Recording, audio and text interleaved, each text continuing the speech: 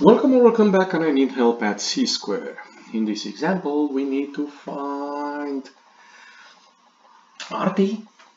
RT is a segment that is tangent to the circle O. That is very important. And what else we know? We know at OR it's 6 and AT is 4.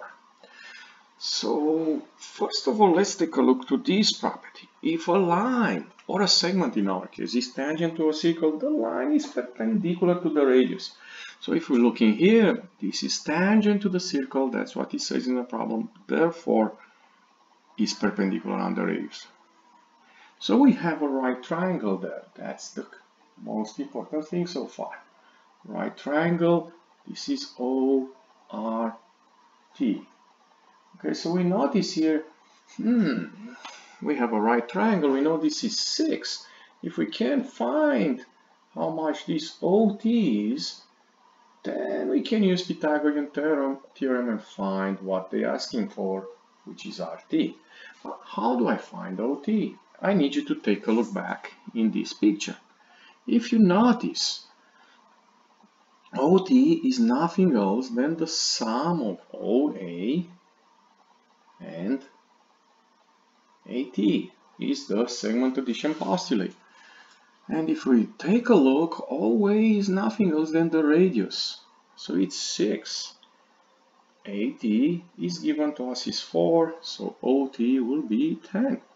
So now we can go back in this triangle and we can use a famous theorem, Pythagorean theorem, to find the missing leg. a squared plus b squared equals c squared.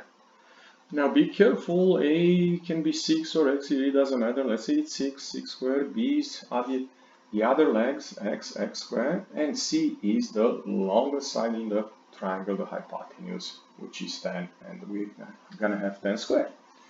So then we have 36 plus x squared equals 100, subtract 36, and we get 64, and if you want to find x, just take square root.